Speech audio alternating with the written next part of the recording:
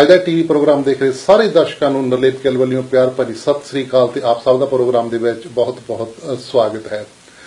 ਜਿਸ ਤਰ੍ਹਾਂ ਅਸੀਂ ਆਪਣੇ ਇਸ ਟੀਵੀ ਮਾਧਿਅਮ ਰਾਹੀਂ ਵੱਖ-ਵੱਖ ਸ਼ਖਸੀਅਤਾਂ ਨੂੰ ਤੁਹਾਨੂੰ ਅ, ਮਿਲਾਉਂਦੇ ਹਾਂ। ਅੱਜ ਸਾਡੇ ਸਟੂਡੀਓ ਦੇ ਵਿੱਚ ਮਹਿੰਦਰ ਸਿੰਘ ਜੀ ਆਏ ਹੋਏ ਹਨ ਜੋ ਕਿ ਆਰਮ ਰੈਸਲਿੰਗ ਕਰਦੇ ਹਨ ਯਾਨੀ ਕਿ ਜਿਵੇਂ ਆਪਾਂ ਜਿਹਨੂੰ ਪੰਜਾਬੀ ਚ ਕਹਿੰਦੇ ਆ ਪੰਜਾ ਲੜਾਉਣਾ। ਆਓ ਆਪਾਂ ਉਹਨਾਂ ਦਾ ਸਵਾਗਤ ਕਰਦੇ ਹਾਂ। ਤੇ ਉਹਨਾਂ ਦੇ ਨਾਲ ਇੰਟਰਵਿਊ ਕਰਦੇ ਹਾਂ। ਸੋ ਮਹਿੰਦਰ ਸਿੰਘ ਜੀ ਤੁਹਾਡਾ ਪ੍ਰੋਗਰਾਮ ਦੇ ਵਿੱਚ ਬਹੁਤ-ਬਹੁਤ ਸਵਾਗਤ ਹੈ ਜੀ। ਥੈਂਕ ਯੂ ਸੋ ਮਚ ਜੀ। ਤੁਹਾਡੇ ਸਾਰੇ ਦਰਸ਼ਕਾਂ ਦਾ ਬਹੁਤ ਬਹੁਤ ਧੰਨਵਾਦ ਜੀ। ਆ ਮਹਿੰਦਰ ਸਿੰਘ ਜੀ ਜਿਸ ਤਰ੍ਹਾਂ ਮੈਂ ਗੱਲਬਾਤ ਕੀਤੀ ਹੈ ਕਿ ਤੁਸੀਂ ਆਰਮ ਰੈਸਲਿੰਗ ਕਰਦੇ ਹੋ ਜਿਹਨੂੰ ਆਪਾਂ ਕਿਹਾ ਬਾਹ ਦਾ ਜਾਨੀ ਪੰਜਾ ਪੰਜਾ ਲੜਾਉਣਾ ਜਾਂ ਬਾਹ ਦਾ ਜੋਰ ਜਾਂ। ਬਾਹ ਦੀ ਕੁਸ਼ਤੀ ਹਨਾ? ਸੋ ਇਹ ਜਿਹੜੀ ਗੇਮ ਹੈਗੀ ਆ ਇਹ ਕਿਸ ਤਰ੍ਹਾਂ ਹੋਣ ਦੇ ਵਿੱਚ ਆਈ? ਅਸੀਂ ਜਦੋਂ ਸਕੂਲ ਕਾਲਜ ਦੇ ਵਿੱਚ ਤਾਂ ਅਸੀਂ ਦੇਖਿਆ ਸੀ ਕਈ ਵਾਰੀ ਕੰਟੀਨ ਦੇ ਵਿੱਚ ਵੀ ਉਹ। ਮੈਚ ਪੈ ਜਾਂਦਾ ਸੀਗਾ। ਵੀ ਆ ਜਾ ਪੰਜਾ ਲੜਾ ਕੇ ਦੇਖ ਲਾ। ਕਿਉਂਕਿ ਈਜ਼ੀ ਆ ਸਾਰਾ ਨਾ ਤੁਸੀਂ ਕਿਤੇ ਵੀ ਬੈਠ ਕੇ ਹੋ ਜਾਂ ਕਿਤੇ ਵੀ ਖੜ ਕੇ ਕਿਤੇ ਵੀ ਕਰ ਸਕਦੇ ਹੋ।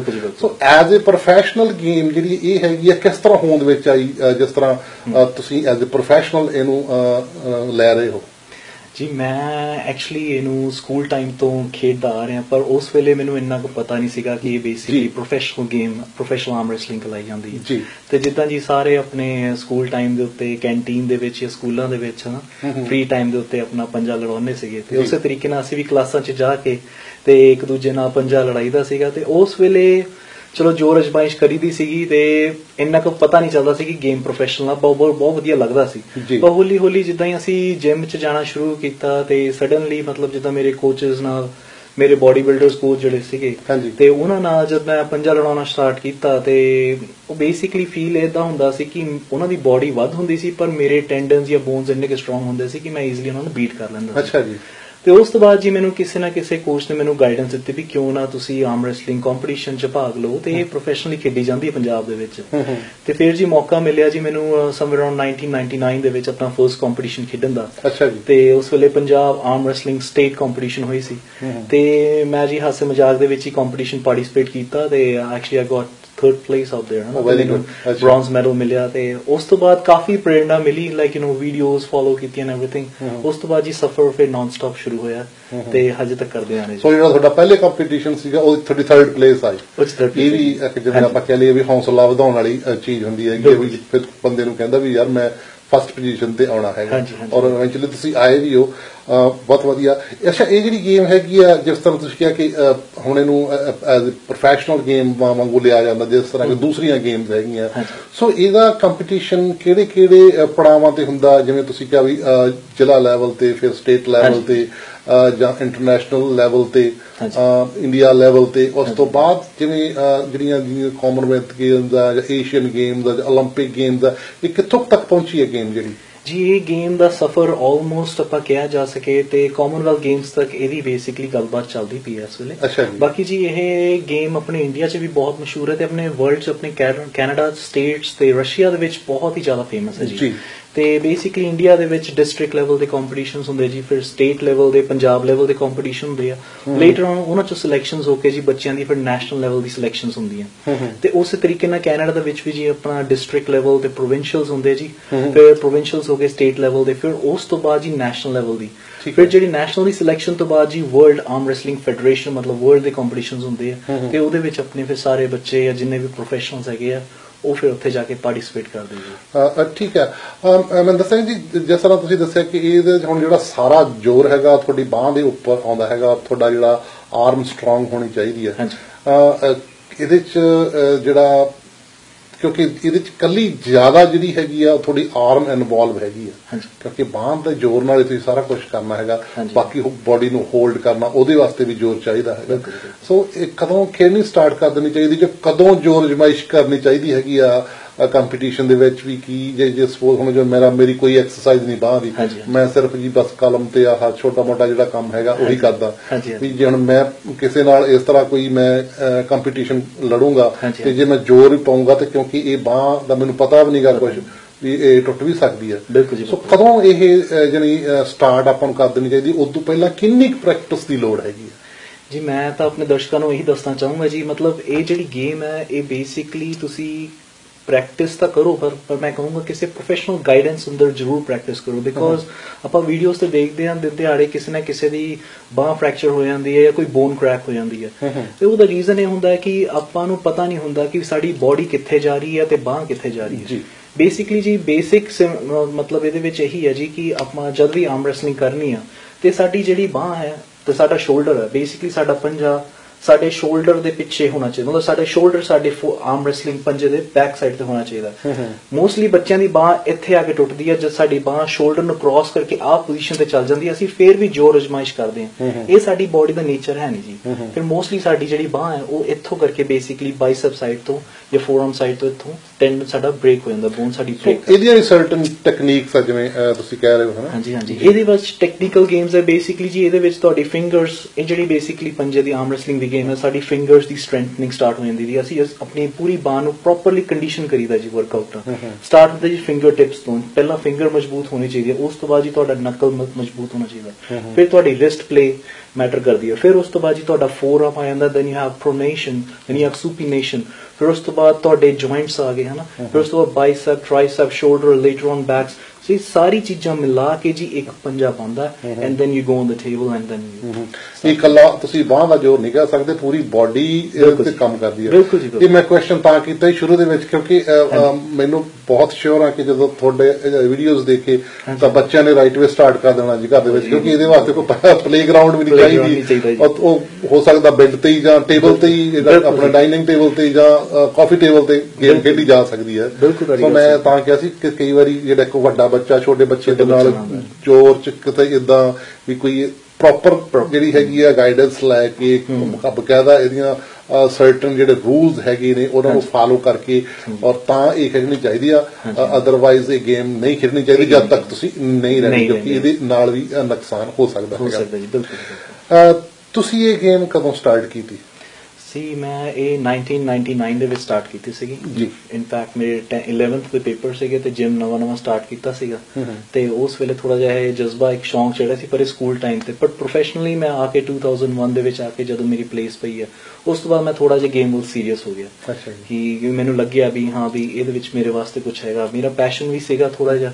ਤੇ ਪੁਲਿੰਗ ਦੇ ਵਿੱਚ ਥੋੜਾ ਜਿਹਾ ਆਪਣੀ ਬਾਡੀ ਵੀ ਉਸ ਤਰੀਕੇ ਨਾਲ ਵਰਕ ਕਰਦੀ ਸੀ ਤੇ ਪਤਾ ਚੱਲਦਾ ਸੀਗਾ ਕਿ ਹਨਾ ਵੀ ਯੂ ਕੈਨ ਡੂ ਸਮਥਿੰਗ ਹਨਾ? ਬਾਕੀ ਵੱਡੇ weight ਦੇ ਪਲੇਅਰਸ ਹੁੰਦੇ ਸੀ। ਉਸ ਵੇਲੇ ਮੇਰਾ weight 60 65 ਕਿਲੋ ਹੁੰਦਾ ਸੀਗਾ। ਅੱਛਾ ਤੇ ਇਸ ਵੇਲੇ I weight around 90 90 kilo hmm. ਤੇ ਉਸ weight ਦੇ ਵਿੱਚ ਵੱਡੇ weighਟਾਂ ਨਾਲ ਮੁਕਾਬਲੇ ਹੁੰਦੇ ਸੀ ਤੇ ਕਾਫੀ ਅੱਛਾ ਮਹਿਸੂਸ ਹੁੰਦਾ ਸੀ। ਹੂੰ ਹੂੰ। ਤੁਸੀਂ ਇੰਡੀਆ ਦੇ ਵਿੱਚ ਜਿਹੜੀ ਕਿੰਨੇ ਕੰਪੀਟੀਸ਼ਨ ਜਿਹੜੇ ਹੈਗੇ ਇੰਡੀਆ ਦੇ ਵਿੱਚ ਲੜੇ ਹੈਗੇ ਆ? ਜੀ ਮੈਂ ਇੰਡੀਆ ਦੇ ਵਿੱਚ ਨੀਅਰ ਅਬਾਊਟ 50 ਤੋਂ ਵੱਧ ਹੀ ਕੰਪੀਟੀਸ਼ਨਸ ਖੇਡ ਚੁੱਕੇ ਹਾਂ ਜਿਹਦੇ ਵਿੱਚ ਮਤਲਬ ਡਿਸਟ੍ਰਿਕਟ ਲੈਵਲ ਹੋ ਗਿਆ ਜਾਂ ਤੁਹਾਡੇ ਸਟੇਟ ਲੈਵਲ ਹੋ ਗਏ even Ambuja arm wrestling competition ਉਹ ਵੀ ਮੈਂ ਖੇਡਿਆ ਪੰਜਾ ਲੀਗ ਅੰਬੂਜਾ ਵਾਲਿਆਂ ਨੇ ਕਰਵਾਇਆ ਸੀਗਾ ਜੀ।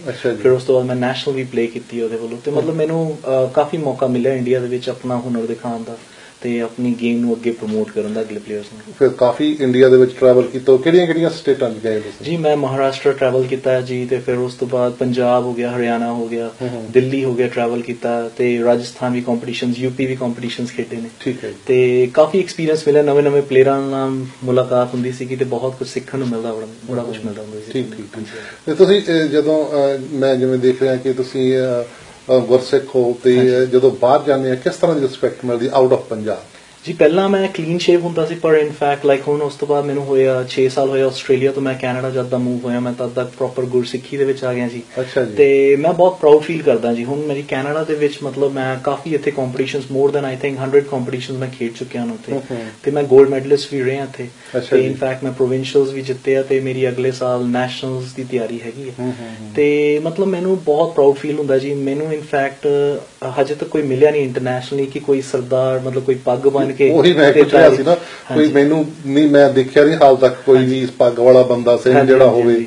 ਉਹ ਆਰਮ ਰੈਸਲਿੰਗ ਦੇ ਵਿੱਚ ਹੋਵੇ ਹਾਂਜੀ ਹਾਂਜੀ ਉਹ ਬਸ ਉਹ ਜੀ ਪੱਗ ਬਨ ਕੇ ਖੇਡੀ ਦਾ ਤੇ ਇੱਕ ਜੋਸ਼ ਹੀ ਅਲੱਗ ਹੁੰਦਾ ਤੇ ਉਸ ਤੋਂ ਬਾਅਦ ਸਾਰੇ ਗੋਰਿਆਂ ਦੇ ਵਿੱਚ ਮਤਲਬ ਜੇ ਆਪਣਾ ਕੱਲਾ ਇੱਕ ਸਰਦਾਰ ਕਹਿੰਦੇ ਨਾ ਦੂਰੋਂ ਦਿਖ ਜਾਂਦਾ। ਤੇ ਜੀ ਉਹ ਹੁੰਦਾ ਤੇ ਕਾਫੀ ਇਨਫੈਕਟ ਮੈਨੂੰ ਵਧੀਆ ਗੱਲ ਇੱਥੇ ਇਹ ਲੱਗਦੀ ਹੈ ਵੀ ਗੋਰੇ ਤੁਹਾਨੂੰ ਸਪੋਰਟ ਬਹੁਤ ਕਰਦੇ ਆ। ਉਹਨਾਂ ਨੂੰ ਬਹੁਤ ਅੱਛਾ ਲੱਗਦਾ ਹੈ ਕਿ ਹਨਾ ਹੁਣ ਮਤਲਬ ਇੱਕ ਪੱਗ ਦੇ ਕਾਰਨ ਅੱਜ ਦੇ ਟਾਈਮ ਦੇ ਵਿੱਚ ਮੇਰੀ ਬਹੁਤ ਪਛਾਣ ਹੋਈ ਹੈ ਜੀ। ਮੇਰਾ ਆਪਣਾ ਮਤਲਬ YouTube ਚੈਨਲ ਆ ਉੱਥੇ ਵੀ basically Mohinder Singh arm wrestling ਕਰਕੇ if anyone wants to look on ਵੀ YouTube Mohinder Singh arm wrestling ਕਰਕੇ ਤੁਸੀਂ ਟਾਈਪ ਕਰੋਗੇ you can find out my matches ਤੇ ਉਹਦੇ ਵਿੱਚ ਮਤਲਬ ਮੈਨੂੰ ਗੋਰਿਆਂ ਦੇ ਕਾਫੀ ਮਤਲਬ messages comments and all that ਕਾਫੀ ਪ੍ਰੋਤਸਾਹਨ ਬੜੀ ਦਿੰਦੇ ਆ। ਜੀ ਤੁਸੀਂ ਜ਼ਿਕਰ ਕੀਤਾ ਸੀਗਾ ਕਿ ਆਸਟ੍ਰੇਲੀਆ ਤੋਂ ਤੁਸੀਂ ਇੱਥੇ ਮੂਵ ਹੋਏ। ਆਸਟ੍ਰੇਲੀਆ ਕਿਵੇਂ ਸਬਬ ਬਣਿਆ ਜਾਣ ਦਾ ਆਸਟ੍ਰੇਲੀਆ ਜੀ ਮੈਂ ਐਕਚੁਅਲੀ ਸਟੂਡੈਂਟ ਵੀਜ਼ਾ ਤੇ ਗਿਆ ਸੀਗਾ ਜਿੱਦਾਂ ਹੀ ਬਾਕੀ ਸਟੂਡੈਂਟਸ ਆਉਂਦੇ ਤੇ ਅੱਜ। ਹਾਂਜੀ ਤੇ ਉੱਥੇ ਜੀ ਮੈਨੂੰ ਮੈਂ ਆਪਣੀ ਬਿਜ਼ਨਸ ਮੈਨੇਜਮੈਂਟ ਕੀਤੀ ਆਪਣੀ ਸਟੱਡੀਜ਼ ਕੰਪਲੀਟ ਕੀਤੀ ਲੇਟਰ ਔਨ ਮੈਂ ਉੱਥੇ ਰੈਜ਼ੀਡੈਂਟ ਬਣ ਗਿਆ ਸੀਗਾ ਪਰ ਉੱਥੇ ਦੇ ਮੁਕਾਬਲੇ ਮਤਲਬ ਕੈਨੇਡਾ ਦੇ ਮੁਕਾਬਲੇ ਉੱਥੇ ਇੰਨੀ ਗੇਮ ਦੀ ਹਜੇ ਚੜ੍ਹਾਈ ਨਹੀਂ ਹੈਗੀ ਅੱਛਾ ਜੀ। ਬਹੁਤ ਹੀ ਘੱਟ ਲੈਵਲ ਤੇ ਮੈਂ ਉੱਥੇ ਵੀ ਖੇਡਿਆ ਮੈਲਬਨ ਲੈਵਲ ਤੇ ਉੱਤੇ ਖੇਡਿਆ ਬਟ ਇਨ ਫੈਕਟ ਜੋ ਨੌਲੇਜ ਜਾਂ ਜੋ ਟੈਕਨੀਕਲ ਸਕਿੱਲਸ ਮੈਨੂੰ ਕੈਨੇਡਾ ਦੇ ਵਿੱਚ ਮਿਲੇ ਇੱਥੇ ਜਾਂ ਮੇਰੇ ਸਟੇਟਸ ਦੇ ਵਿੱਚ ਮਿਲੇ ਉਹ ਮਤਲਬ ਮੈਨੂੰ ਉੱਥੇ ਇੰਨਾ ਕੁ ਗੇਮ ਦੀ ਓਪਰਚ्युनिटी ਨਹੀਂ ਪਤਾ ਚੱਲੀ। ਤਾਂ ਬੇਸਿਕਲੀ ਆਪਾਂ ਕਹਿ ਸਕਦੇ ਹਾਂ ਕਿ ਤੁਹਾਨੂੰ ਤੁਹਾਡੀ ਗੇਮ ਆਸਟ੍ਰੇਲੀਆ ਤੋਂ ਕੈਨੇਡਾ ਲੈ ਕੇ ਆਈ। ਗੇਮ ਮੈਨੂੰ ਆਸਟ੍ਰੇਲੀਆ ਕੈਨੇਡਾ ਲੈ ਕੇ ਆਈ ਜੀ। ਕਿੱਦਾਂ ਡਿਫਰੈਂਸ ਲੱਗਦਾ ਬਿਟਵੀਨ ਲਾਈਕ ਹੁਣ ਤੁਸੀਂ ਇੰਡੀਆ ਦੇ ਵਿੱਚ ਵੀ ਕਾਫੀ ਕੰਪੀਟੀਸ਼ਨ ਤੁਸੀਂ ਕਿਹਾ ਵੀ ਲੜੇ ਹੈਗੇ ਆ। ਆਸਟ੍ਰੇਲੀਆ ਦਾ ਵੀ ਤੁਹਾਡਾ ਐਕਸਪੀਰੀਅੰਸ ਹੈਗਾ। ਉੱਥੇ ਵੀ ਤੁਸੀਂ ਮੈਚਸ ਕੀਤੇ ਨੇਗੇ ਗੋਰਿਆਂ ਦੇ ਨਾਲ ਵੀ ਹੋਰਨਾਂ ਕਮਿਊਨਿਟੀਆਂ ਦੇ ਨਾਲ ਵੀ। ਔਰ ਕੈਨੇਡਾ ਦੇ ਵਿੱਚ ਵੀ ਤੁਸੀਂ ਜਿਵੇਂ ਕਿ 100s ਤੋਂ ਵੱਧ ਤੁਸੀਂ ਗੇਮ ਖੇਡ ਚੁੱਕੇ ਹੋ ਹੋਗੇ ਔਰ ਕਿੰਨਾ ਕਿਵੇਂ ਡਿਫਰੈਂਸ ਲੱਗਦਾ ਆਲ ਦੀ ਆਲ ਦੀਸ ਥ੍ਰੀ ਕੰਟਰੀਜ਼ ਦੇ ਵਿੱਚ? ਬੇਸਿਕਲੀ ਜੇ ਮੈਂ ਇੰਡੀਆ ਦੀ ਗੱਲ ਕਰਾਂ ਜੀ ਇੰਡੀਆ ਦੇ ਆਪਣੇ ਸਪੈਸ਼ਲੀ ਪੰਜਾਬ ਦੇ ਨੌਜਵਾਨ ਜਾਂ ਇੰਡੀਆ ਦੀ ਫੁੱਲ ਕਮਿਊਨਿਟੀ ਮਤਲਬ ਉਹਨਾਂ ਕੋਲ ਰॉ ਪਾਵਰ ਬਹੁਤ ਹੈ ਜੀ ਬਹੁਤ ਸਟਰੋਂਗ ਨੇ। ਤੇ ਸਿਮਿਲਰ ਟੂ ਕੈਨੇਡਾ ਵੀ ਉਹਨਾਂ ਕੋਲ ਵੀ ਰॉ ਪਾਵਰ ਬਹੁਤ ਹੈ। ਸਿਰਫ ਇੱਕੋ ਹੀ ਚੀਜ਼ ਤੇ ਆ ਕੇ ਸਾਡੀ ਮੇਰੀ ਜਿਹੜੀ ਗੇਮ ਜਿਹੜੀ ਆ ਕੈਨੇਡਾ ਆ ਕੇ ਇੱਕੋ ਚੀਜ਼ ਤੇ ਚੇਂਜ ਹੋਈ ਹੈ ਉਹ ਹੈ ਟੈਕਨੀਕਲ ਜੀ। ਅਸੀਂ ਇੰਡੀਆ ਦੇ ਵਿੱਚ ਕਿਤੇ ਨਾ ਕਿਤੇ ਮਤਲਬ ਅਸੀਂ ਟੈਕਨੀਕਲ ਵੱਲੋਂ ਥੋੜਾ ਜਿਹਾ ਮਾਰ ਖਾ ਜੰਨੇ ਕਿਉਂਕਿ ਜਿੰਨੀ ਗੋਰਿਆਂ ਨੇ ਇੱਥੇ ਐਕਸਪੈਰੀਮੈਂਟਸ ਕੀਤੇ ਨੇ ਜਿੰਨੀ ਇੰਪਰੂਵਮੈਂਟਸ ਜਿੰਨੇ ਮਤਲਬ ਤੁਹਾਡੇ ਇਕਵਿਪਮੈਂਟਸ ਹੋ ਗਏ ਹੈਂਡਲਸ ਹੋ ਗਏ ਯੂ نو ਫੈਟ ਗ੍ਰਿਪਰਸ ਛੋਟੇ ਛੋਟੇ ਹੈਂਡਲਸ ਇਹ ਚੀਜ਼ਾਂ ਸਾਡੇ ਇਕਵਿਪਮੈਂਟਸ ਨੇ ਮੇਰੇ ਟੂਲਸ ਨੇ। ਤੇ ਜੋ ਕਿ ਮੈਨੂੰ ਇੱਥੇ ਆ ਕੇ ਇਹਨਾਂ ਦੀ ਇਨਵੈਂਸ਼ਨ ਦਾ ਪਤਾ ਚੱਲਿਆ। ਇਨਫੈਕਟ ਜੀ। ਮੇਰੀ ਟ੍ਰੇਨਿੰਗ ਵੀ ਮੇਰੇ ਕੋਚ ਮਾਈਕ ਗੋਲਡ ਅੰਡਰ ਹੋਈ ਆ ਜਿਹੜੇ ਵਰਲਡ ਦੇ ਫੇਮਸ ਆਰਮ ਰੈਸਲਰ ਨੇ। ਅੱਛਾ ਜੀ। ਤੇ ਬਸ ਮੇਰੀ ਗੇਮ ਦਾ ਬਸ ਮੈਨੂੰ ਇੰਨਾ ਕੁ ਫ਼ਰਕ ਪਤਾ ਚੱਲਦਾ ਵੀ ਗੇਮ ਥੋੜੀ ਜੀ ਟੈਕਨੀਕਲ ਨਾਲੋਂ ਕੈਨੇਡਾ ਬਹੁਤ ਜ਼ਿਆਦਾ ਸਾਊਂਡ ਹੈ as comparison to India rest ਮਤਲਬ ਪਾਵਰ ਵਾਲੇ ਗੱਲ ਕਰੀਏ ਤਾਂ ਇੰਡੀਆ ਦੇ ਨੌਜਵਾਨ ਤੁਹਾਨੂੰ ਪਤਾ ਜੀ ਆਪਣੇ ਕਬੱਡੀਆਂ ਦੇ ਵਿੱਚ ਹੋ ਗਏ ਜਾਂ ਰੈਸਲਿੰਗ ਦੇ ਵਿੱਚ ਹੋ ਗਏ ਪਾਵਰ ਵੱਲੋਂ ਉਹ ਕਿਸੇ ਚੀਜ਼ ਦੀ ਕਮੀ ਨਹੀਂ ਹੈ। ਸਿਰਫ ਇੱਕ ਟੈਕਨੀਕਲ ਵੱਲੋਂ ਨੌਲੇਜ ਪੈਂਦੀ ਹੈ ਜੇ ਉਹ ਵੀ ਚੀਜ਼ ਉਹਨਾਂ ਨੂੰ ਪ੍ਰੋਵਾਈਡ ਕੀਤੀ ਜਾਵੇ ਤੇ ਮੈਨੂੰ ਲੱਗਦਾ ਕੱਲਾ ਕੱਲਾ ਨੌਜਵਾਨ ਆਪਣਾ ਤਰੱਕੀ ਕਰ ਜਾਵੇ ਜੀ ਜੀ ਮੈਨੂੰ ਤੁਹਾਡੀ ਗੱਲ ਤੋਂ ਯਾਦ ਆਇਆ ਮੈਂ ਜਦੋਂ 10ਵੀਂ ਕਲਾਸ ਦੇ ਵਿੱਚ ਸੀਗਾ ਹਾਇਰ ਸੈਕੰਡਰੀ ਚ ਗਏ ਤਾਂ ਮੈਂ ਮੈਂ ਹੀ ਚਲੇ ਗਿਆ ਆਪਣੇ ਜਿਹੜੇ ਫਿਜ਼ੀਕਲ ਐਜੂਕੇਸ਼ਨ ਵਾਲੇ ਉਹ। ਡੀਪੀਸ ਤੇ ਜਦ ਪੀਟੀ ਕਹਿੰਦੇ ਹੁੰਦੇ ਆ ਆਪਣੇ।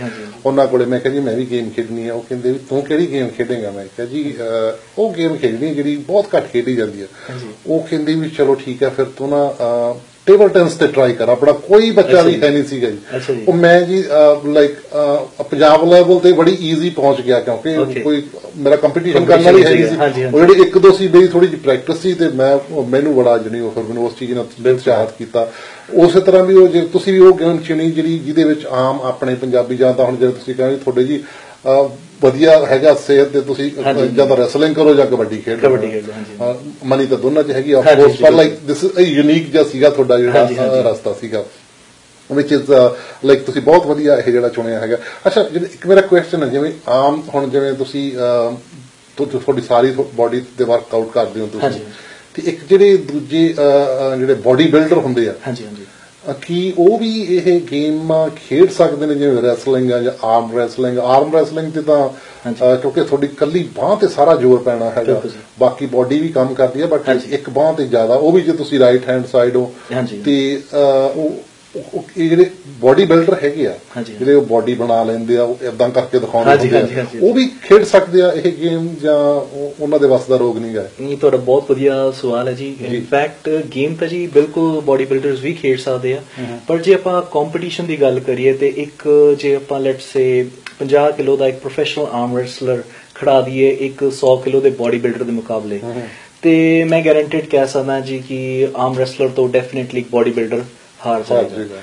ਕਿਉਂਕਿ ਜਿਹੜੀ ਬਾਡੀ ਬਿਲਡਰ ਜਿਹੜੀ ਗੇਮ ਆ ਉਹ ਟੋਟਲੀ ਡਿਫਰੈਂਟ ਆ ਆਰਮ ਰੈਸਲਿੰਗ ਨਾਲੋਂ ਜਿਹੜੀ ਬਾਡੀ ਬਿਲਡਿੰਗ ਹੈ ਜੀ ਉਹ ਸਿਰਫ ਯੂ نو ਜਿੱਦਾਂ ਸਟੀਰੋਇਡਸ ਯੂਜ਼ ਹੁੰਦੇ ਹਨ all that stuff you know ਇੱਕ ਮਸਲ ਇੱਕ ਸ਼ੇਪ ਦਿਖਾਉਣ ਲਈ ਉਹ ਇੱਕ ਮਤਲਬ ਇੱਕ ਪਿਕਚਰ ਹੈ ਜੀ ਆਪਾਂ ਤੇ ਆਪਣਾ ਅਹ, ਕੀ ਕਹਿੰਦੇ ਆ, ਦੀਵਾਰ ਤੇ ਲਗਾਉਣ ਵਾਸਤੇ ਆ ਵਧੀਆ ਲੱਗਦੀ ਹੈ ਜਿਹੜਾ ਆਰਮ ਰੈਸਲਰ ਹੈ ਜੀ ਇਹਦੀ ਬਾਡੀ ਤੁਹਾਨੂੰ ਪਤਾ ਨਹੀਂ ਚੱਲਦੀ ਪਰ ਬੇਸਿਕਲੀ ਇਹਦੀ ਐਕਸਰਸਾਈਜ਼ ਲਗਾ ਲਗਾ ਕੇ ਇਹਦੇ ਟੈਂਡਨਸ ਇਹਦੇ ਜੁਆਇੰਟਸ ਇੰਨੇ ਕਿ ਸਟਰੋਂਗ ਹੋ ਜਾਂਦੇ ਆ ਜੀ ਕਿ ਇਕੱਲਾ ਬੰਦਾ ਹੀ 200 200 ਕਿਲੋ ਦਾ ਡੰਬਲ ਸਿੰਗਲ ਹੱਥ ਨਾਲ ਹਵਾ 'ਚ ਰੋਕ ਕੇ ਖੜਾ ਸਕਦਾ।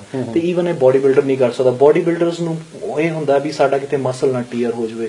ਸਾਡਾ ਕਿਤੇ ਆਹ ਟੁੱਟ ਨਾ ਜਾਵੇ। ਕਿਉਂਕਿ ਉਹ ਬਾਹਰੋਂ ਜਿਹੜੀ ਬਾਡੀ ਬਿਲਡਰ ਉਹ ਬਾਹਰੋਂ ਦਿਖਾਵਟੀ ਚੀਜ਼ਾਂ ਕਾਫੀ ਲੋਕੀ ਉਹਨਾਂ ਵੱਲ ਅਟਰੈਕਟ ਹੁੰਦੇ ਆ ਆਰਮ ਰੈਸਲਿੰਗ ਹੈ ਜਿਹੜੀ ਬੇਸਿਕਲੀ ਟੋਟਲੀ 100% ਪਾਵਰ ਤੇ ਸਟਰੈਂਥ ਦੀ ਗੇਮ ਹੈ ਸੋ ਤੁਹਾਡੇ ਕਹਿਣ ਤੋਂ ਆ ਜਿਹੜੀ ਉਹ ਬਾਡੀ ਹੈਗੀ ਆ ਉਹ ਦਿਖਾਉਣ ਵਾਸਤੇ ਜਣੀ ਉਹਨੂੰ। ਕਮਾਇਆ ਗਿਆ। ਵੈਸੇ ਮਿਹਨਤ ਉਹਦੇ ਤੇ ਵੀ ਬਹੁਤ ਜ਼ਿਆਦਾ ਹੁੰਦੀ ਮਿਹਨਤ ਆ। ਉੱਤੇ ਬਹੁਤ ਜ਼ਿਆਦਾ ਆਪਾਂ ਕਹਿ। ਸਕਦੇ ਕਿ ਈਜ਼ੀ ਹੋ ਜਾਂਦਾ ਸਾਰਾ। ਹੋ। ਪਰ ਉਹਨਾਂ ਕੋਲੋਂ ਉਹ ਕਿਉਂਕਿ ਉਹਨਾਂ ਦੀਆਂ ਬੋਨਸ ਤੇ ਉਹਨਾਂ ਦੇ ਮਸਲ ਇੰਨੇ ਸਟਰੋਂਗ ਨਹੀਂ ਹੁੰਦੇ ਜਿਸ ਤਰ੍ਹਾਂ ਤੁਸੀਂ ਕਰਦੇ ਹੋ ਤੇ ਉਹ ਨਹੀਂ ਕਰ ਸਕਦੇ ਮੇਰੇ ਕਹਿਣ ਤੋਂ ਇਹੀ ਸਾਡੀ ਜੀ ਥੋੜੀ ਸਪੈਸ਼ਲ ਟ੍ਰੇਨਿੰਗ ਹੁੰਦੀ ਹੈ ਐਸ। ਕੰਪੈਰੀਜ਼ਨ ਸਾਡੀ ਮਤਲਬ ਡੇਲੀ ਉਦਾਂ ਦੀ ਰੂਟੀਨ ਨਹੀਂ ਹੁੰਦਾ ਜਦ ਮੈਂ ਜਿਮ 'ਚ ਜਾਣਾ ਜੀ ਜੋ ਇੱਕ ਬਾਡੀ ਬਿਲਡਰ ਨੇ ਲਗਾਣਾ ਉਹਨੇ ਚੈਸਟ ਲਗਾਣੀ ਹੈ ਸ਼ੋਲਡਰਸ ਲਗਾਣੀ ਹੈ। ਸਾਡੀ ਜਿਹੜੀ ਐਕਸਰਸਾਈਜ਼ ਹੈ ਮੇਰੀ 2 ਘੰਟੇ ਤੋਂ 3 ਘੰਟੇ ਦਾ ਜਿਮ 'ਚ ਵਰਕਆਊਟ ਹੁੰਦਾ ਜੀ। ਜੀ। ਉਹਦਾ 3 ਘੰਟੇ ਦਾ ਵਰਕਆਊਟ ਮੇਰੀ ਫਿੰਗਰਸ ਤੋਂ ਲੈ ਕੇ ਮੇਰੇ ਸ਼ੋਲਡਰ ਤੱਕ ਸਿਰਫ ਇੱਥੇ ਹੀ ਘੁੰਮਦਾ ਰਹਿੰਦਾ ਮੇਰਾ ਵਰਕਆਊਟ ਤੇ ਕਈ ਵਾਰੀ ਲੋਕੀ ਮੈਨੂੰ ਦੇਖ ਕੇ ਵੀ ਪੁੱਛਦੇ ਵੀ ਹਨਾ ਤੇਰਾ ਵਰਕਆਊਟ ਬੜਾ ਡਿਫਰੈਂਟ ਹੈ। ਤੇ ਅਗਲੇ ਨੂੰ ਸਮਝ ਆ ਜਾਂਦਾ ਵੀ ਆਰਮ ਰੈਸਲਰ ਹੈਗਾ। ਤੇ ਸਾਡੀ ਵਰਕਆਊਟ ਨਾ ਸਾਡਾ ਬੇਸਿਕਲੀ ਟੋਟਲੀ ਬਾਂਹ ਦੇ ਰਿਲੇਟਡ ਹੈ ਤੇ ਸਾਡੇ ਰੈਪੀਟੀਸ਼ਨਸ ਵੀ ਬਹੁਤ ਜ਼ਿਆਦਾ ਹੁੰਦੇ ਜੀ। ਤੇ ਇਹ ਚੀਜ਼ਾਂ ਸਾਨੂੰ ਨਾ ਥੋੜਾ ਡਿਫਰੈਂਟ ਕਰਦੇ ਬਾਡੀ ਬਿਲਡਰ ਨਾਲ ਜਿਹੜੇ ਸਟੀਰੋਇਡ ਤੁਸੀਂ ਕਹਿੰਦੇ ਯੂਜ਼ ਕੀਤੇ ਜਾਂਦੇ ਹੈਗੇ ਆ ਹਾਂਜੀ ਹਾਂਜੀ। ਉਹ ਤੁਸੀਂ ਵੀ ਥੋੜਾ ਬਹੁਤਾ ਉਹ ਲੈਂਦੇ ਜਾਂ ਬਿਲਕੁਲ ਹੀ ਇੱਕ ਮੇਰਾ ਹੋਰ ਕੁਐਸਚਨ ਸੀ ਇਹਦੇ ਨਾਲ ਵਿੱਚ ਹਾਂਜੀ, ਤਾਂ ਇਹਦੇ ਨਾਲ ਹੀ ਮਿਲਦਾ ਜੁਲਦਾ ਕਿ ਇਹ ਤੁਸੀਂ ਗੁਰਸਿੱਖ ਹੋ। ਬਿਲਕੁਲ ਜੀ ਬਿਲਕੁਲ। ਤਾਂ ਤੁਸੀਂ ਮੀਟ ਦਾ ਸੇਵਨ ਤਾਂ ਨਹੀਂ ਕਰਦੇ ਨਹੀਂ। ਜੀ ਨਹੀਂ ਬਿਲਕੁਲ ਨਹੀਂ ਬਿਲਕੁਲ। ਤੋ ਜਿਹੜਾ ਜਿਹੜਾ ਹੁਣ ਵੈਜੀਟੇਰੀਅਨ ਦੇ ਵਿੱਚ ਵੀ ਤੁਸੀਂ ਆਪਦੀ ਬਾਡੀ ਨੂੰ ਬਣਾ ਸਕਦੇ ਹੋ ਉਸ ਤਰ੍ਹਾਂ ਕਿਉਂਕਿ ਬਹੁਤ ਸਾਰੇ ਜਿਹੜੀ ਇਹ ਮੈਥਡ ਪਾਈ ਜਾਂਦੀ ਹੈ ਕਿ ਜੇਕਰ ਤੁਸੀਂ ਜਿਹੜੇ ਮੀਟ ਪ੍ਰੋਡਕਟ ਨਹੀਂ ਲੈਂਦੇ। ਤਾਂ ਤੁਹਾਡੀ ਜਿਹੜੀ ਉਹ ਬਾਡੀ ਆ ਉਹ ਨਹੀਂ ਉਸ ਤਰ੍ਹਾਂ ਕੰਮ ਕਰਦੀ ਜਾਂ ਉਸ ਤਰ੍ਹਾਂ ਨਹੀਂ ਬਣਦੀ ਜਿਸ ਤਰ੍ਹਾਂ ਜੇ ਮੀਟ ਪ੍ਰੋਡਕਟ ਲੈ ਕੇ ਬਣਦੀ ਹੈ। ਇਹਦੇ ਬਾਰੇ ਸਾਡੇ ਜਿਹੜੇ ਜਿਹੜੇ ਬੱਚੇ ਹੈਗੇ ਆ ਉਹ ਕਈ ਵਾਰੀ ਆਰਗੂਮੈਂਟ ਹੋ ਜਾਂਦਾ। ਤਾਂ ਉਹ ਹੁਣ ਸਾਡੇ ਕੋਲੇ ਕੋਈ ਆਨਸਰ ਨਹੀਂ ਕਿਉਂਕਿ ਮੈਂ ਨਹੀਂ ਬਾਡੀ ਬਣਾਉਂਦਾ। ਮੈਂ ਤੁਹਾਡੇ ਕੋਲੋਂ ਆਨਸਰ ਇਹ ਮੰਗਦਾ ਤਾਂ ਕਿ ਜਿਹੜੇ ਬੱਚੇ ਆ ਉਹਨਾਂ ਨੂੰ ਇਹ ਇਹ ਵੀ ਹੋਵੇ ਕਿ ਯਾਰ ਵੈਜੀਟੇਰੀਅਨ ਰਹਿ ਕੇ ਵੀ। ਇੱਕ ਰੈਸਲਰ ਬਣਿਆ ਜਾ ਸਕਦਾ ਹੈ ਬਿਲਕੁਲ ਜੀ ਬਿਲਕੁਲ ਵੈਜੀਟੇਰੀਅਨ ਰਹਿ ਕੇ ਵੀ ਐਕਚੁਅਲੀ ਰੈਸਲਰ ਬਣਿਆ ਜਾਂਦਾ ਹੈ ਤੇ ਇਹ ਬੇਸਿਕਲੀ ਆਪਣੇ ਆਪ ਤੇ ਹੀ ਹੈ ਕਿ ਤੁਸੀਂ ਕਿਸ ਤਰੀਕੇ ਦਾ ਆਪਣੇ ਆਪ ਨੂੰ ਯੂ نو ਆਪਣੇ ਆਪ ਨੂੰ ਕਿਸ ਤਰੀਕੇ ਦਾ ਕਿਸ ਲਾਈਨ 'ਚ ਪਾਉਣਾ ਚਾਹੁੰਦੇ ਹੋ ਵੀ ਆਪਣੀ ਜਿਹੜੀ ਦੇਸੀ ਡਾਈਟ ਆ ਉਹਦੇ ਵਿੱਚ ਹੀ ਇੰਨੀ ਤਾਕਤਾਂ ਹੈਗੀਆਂ ਵੀ ਅਸੀਂ ਪੁਰਾਣੇ ਟਾਈਮ 'ਚ ਜਾਈਏ ਤਾਂ ਬੇਸਿਕ ਖੇਤਾਂ ਦੇ ਵਿੱਚ ਯੂ نو ਹੱਲ ਇੱਕ ਹੱਥਾਂ ਨਾਲ ਚੱਕ ਲੈਂਦੇ ਹੁੰਦੇ ਸੀ ਖਾੜਿਆਂ ਦੇ ਵਿੱਚ ਆ ਕਬੱਡੀ ਦੇ ਪਲੇਅਰ ਨੇ ਜੀ ਦੁੱਧ ਨੇ ਆਪਣੇ ਬਾਜਰਾ ਨੇ ਗੇਹੂੰ ਨੇ ਇਹ ਇਹਨਾਂ ਦਾ ਤਰੀਕਾ ਹੈ ਜੀ ਯੂਜ਼ ਕਰਨ ਦਾ ਤੇ ਮੇਰੀ ਮੋਸਟਲੀ ਜੀ ਆਪਣਾ ਕੋਸ਼ਿਸ਼ ਹੁੰਦੀ ਹੈ ਜੀ ਜਿੰਨੀ ਤੋਂ ਜਿੰਨੀ ਮੈਂ ਦੇਸੀ ਖੁਰਾਕ ਲੈ ਸਕਾਂ ਕਿਉਂਕਿ ਦੇਸੀ ਖੁਰਾਕ ਥੋੜਾ ਟਾਈਮ ਜ਼ਰੂਰ ਲੈਂਦੀ ਹੈ ਪਰ ਬੇਸਿਕਲੀ ਤੁਹਾਡੀ ਬਾਡੀ 'ਚ ਟਿਕਿਆ ਰਹਿੰਦਾ। ਬਾਕੀ ਮੈਂ ਜ਼ਰੂਰ ਜੀ ਪ੍ਰੋਟੀਨ ਸਪਲੀਮੈਂਟਸ ਜ਼ਰੂਰ ਯੂਜ਼ ਕਰਦਾ ਕਿਉਂਕਿ ਪ੍ਰੋਟੀਨ ਬੇਸਿਕਲੀ ਅਸੀਂ ਡੇਲੀ ਰੂਟੀਨ ਦੇ ਵਿੱਚੋਂ ਨਹੀਂ ਇੰਨਾ ਕੱਢ ਪਾਉਂਦੇ ਜਿੰਨਾ ਕਿ ਮੈਂ ਇੱਕ ਪ੍ਰੋਟੀਨ ਸਪਲੀਮੈਂਟ ਇਹ ਮੇਰਾ ਬੇਸਿਕ ਰੂਟੀਨ ਹੁੰਦਾ ਬਾਕੀ ਜੀ ਮੇਰੀ ਡਾਈਟ ਪ੍ਰੋਪਰ ਹੁੰਦੀ ਹੈ ਜੀ ਮੈਂ ਆਪਣੀ ਡਾਈਟ ਪ੍ਰੋਪਰ ਫੋਲੋ ਕਰਦਾ ਜੀ। ਟਾਈਮ ਦੇ ਉੱਤੇ ਹਰ ਚੀਜ਼ ਲੈਣਾ ਤੇ ਦੇਸੀ ਖੁਰਾਕ ਮੇਰਾ ਮੇਨ ਸੋਰਸ ਆਫ ਨਿਊਟ੍ਰੀਐਂਟਸ ਹੈ ਜਾਂ ਜੋ ਵੀ ਮੈਂ ਲੈਣਾ ਤੇ ਮੈਂ ਉਸ ਤਰੀਕੇ ਨਾਲ ਆਪਣੇ ਆਪ ਨੂੰ ਮੈਨੀਪੂਲੇਟ ਕਰਦਾ ਰਹਿੰਦਾ ਕਿ ਕਿਸ ਤਰੀਕੇ ਨਾਲ ਹਾਂਜੀ। ਤੁਸੀਂ ਜੇ ਉਸ ਤਰ੍ਹਾਂ ਨਹੀਂ ਕਰਦੇ ਕਿ ਨਹੀਂ ਮੈਂ ਆਹ ਨਹੀਂ ਖਾਣਾ ਮੈਂ ਉਹ ਨਹੀਂ ਖਾਣਾ ਖਾਸ ਖਾਸ ਬਿਲਕੁਲ ਜੀ, ਬਿਲਕੁਲ। ਖਾਣਾ ਤੁਸੀਂ ਸਾਰਾ ਖਾ ਸਭ ਲੈਂਦੇ ਕੁਝ ਹੋ ਖਾਣਾ ਜੀ, ਪਰ ਹਾਂਜੀ। ਲਾਈਕ ਉਸ ਤਰੀਕੇ ਨਾਲ ਫਿਰ ਵਰਕਆਊਟ ਵਰਕਆਊਟ ਜੀ ਉਸ ਤਰੀਕੇ ਨਾਲ ਮਤਲਬ ਖਾਣਾ ਸਭ ਕੁਝ ਹੈ ਜੀ ਪਰਹੇਜ਼ ਕੁਝ ਨਹੀਂ ਕਰਨਾ ਪਰ ਬੇਸਿਕਲੀ ਮੇਰਾ ਇਹ ਹੁੰਦਾ ਵੀ ਜੇ ਜਿਸ ਦਿਨ ਮੈਂ ਕੁਝ ਜ਼ਿਆਦਾ ਫੈਟ ਖਾ ਲਿਆ ਤੇ ਅਗਲੇ ਦਿਨ ਉਸ ਜਿਮ ਦੇ ਵਿੱਚ ਜਾਓ ਤੇ ਵਰਕਆਊਟ ਅੱਛਾ ਖਾਸਾ ਕਰੋ make sure you actually take everything out of your body ਨਾ ਵੀ ਕਾਰਡੀਓਸ ਕਰ ਲਓ ਆਪਣੇ ਆਪ ਨੂੰ ਮੇਰਾ ਸਕੇਲ ਹੈ ਜੀ ਬੇਸਿਕਲੀ ਕਿ ਮੈਂ ਇਸ ਕੇ ਇਸ weight ਕੈਟਾਗਰੀ ਦੇ ਵਿੱਚ ਰਹਿਣਾ ਤੇ ਡਸਨਟ ਮੈਟਰ ਮੈਨੂੰ ਕੀ ਕਰਨਾ ਪਏ ਮੈਂ ਉਸ ਤੋਂ ਉੱਪਰ ਨਹੀਂ ਜਾਣਾ ਮੈਂ ਥੋੜਾ ਬਹੁਤ ਉੱਪਰ ਨੀਚੇ ਜੰਪ ਕਰਦਾ ਰਹਿਣਾ ਫਿਰ ਮੈਨੂੰ ਆਪਣੀ ਪਾਵਰਸ ਯੂ نو ਇਹ ਚੀਜ਼ਾਂ ਨੋਟ ਕਰਦਾ ਰਹਿਣਾ ਵੀ ਮੇਰੀ ਸਟਰੈਂਥ ਲੈਵਲ ਕਿੰਨਾ ਕੁ ਵਧਿਆ ਇਹ ਚੀਜ਼ ਤੋਂ ਨਾ ਆਪਣੇ ਆਪ ਨੂੰ ਥੋੜਾ ਜਿਹਾ ਅਪਡੇਟ ਰਹਿੰਦਾ ਕਿ you know are you on the right track or not ਜੀ ਅਹ ਜਿਹੜੇ ਦਰਸ਼ਕ ਆ ਸਾਡੇ ਉਹ ਐਕਸਾਈਟਡ ਹੋਣਗੇ ਜੀ ਥੋੜੀਆਂ ਅਹ ਜਿਹੜੀਆਂ ਗੇਮਸ ਹੈਗੀਆਂ ਦੇਖਣ ਵਾਸਤੇ ਅਹ ਇਹਨਾਂ ਦੀਆਂ ਕੁਝ ਗੇਮ ਜਿਹੜੀਆਂ ਹੈਗੀਆਂ ਉਹ ਸਾਡੇ ਕੋਲ ਇਹਨਾਂ ਦੀ ਇੱਕ ਵੀਡੀਓ ਹੈਗੀ ਆ ਅਹ ਉਹਦੇ ਚ ਇਹਨਾਂ ਦੇ ਕਾਫੀ ਮੈਚ ਹੈਗੇ ਆ 2 ਮਿੰਟ ਦੀ ਵੀਡੀਓ ਤੁਸੀਂ ਉਹਨੂੰ ਅਹ ਦੇਖੋ ਤੇ ਉਸ ਤੋਂ ਬਾਅਦ ਫਿਰ ਆਪਾਂ ਦੁਬਾਰਾ